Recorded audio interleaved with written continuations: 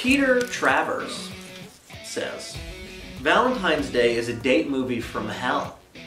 How did director Garry Marshall persuade a big name cast to stuff themselves into this box of rancid heart shaped chocolates?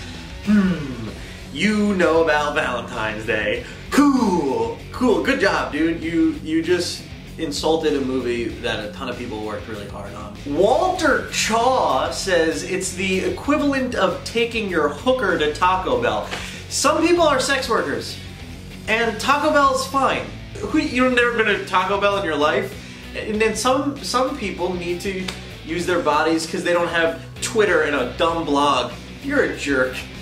As predictable as a North Korean election and makes Richard Curtis's not dissimilar Love Actually look like Ernst Lubitsch at his zenith. What do you mean, dude? Is this just, how many things can I say that'll make me sound smart? And racist. A North Korean election? Relax, okay?